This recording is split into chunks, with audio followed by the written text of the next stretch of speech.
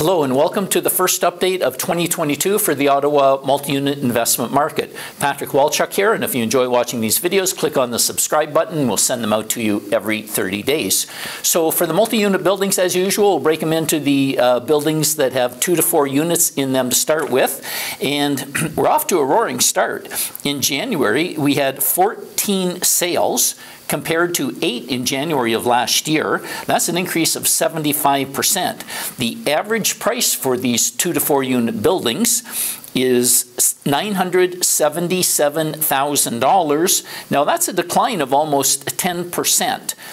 Again, the numbers are fairly small, it's just 14 units, but uh, it is what it is. And in terms of how long it was taking, we had more sales and they were selling much faster on average than last year in just 53 days compared to 89 days last year.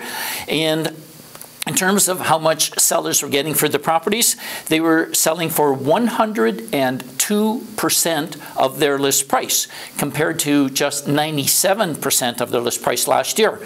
Excuse me. So for buildings that have five or more units in them, we had five sales happen in January compared to two last year. And I had to have that double checked because typically we'll only have 23, 25 sales in an entire year. And then just in January we had five, but turns out that number was accurate.